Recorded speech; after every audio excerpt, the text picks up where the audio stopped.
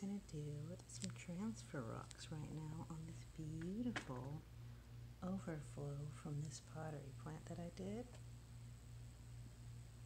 Planner.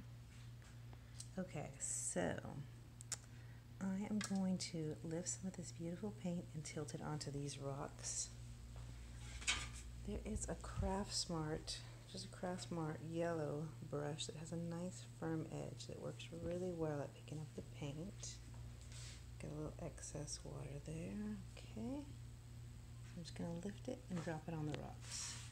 I'm just gonna try to be careful and get some nice paint designs on there. So see the design?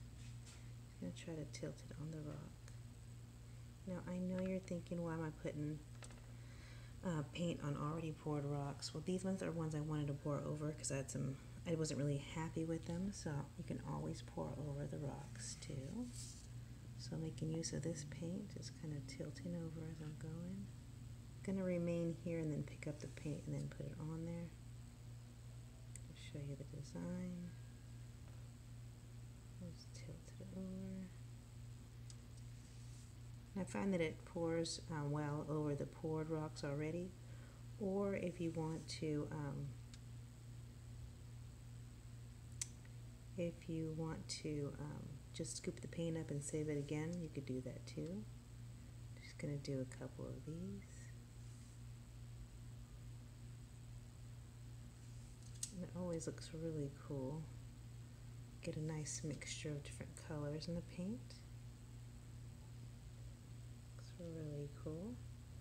Gonna do one more and then I'll follow up once they've already been done and I'll show those later.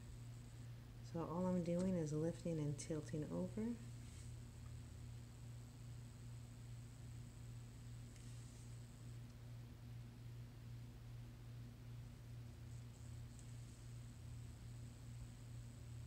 Some of them I kind of just drizzle on the top.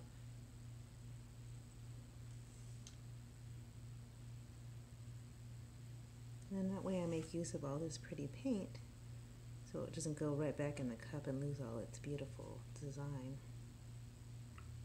Then I'll follow up later with some more of these transfers.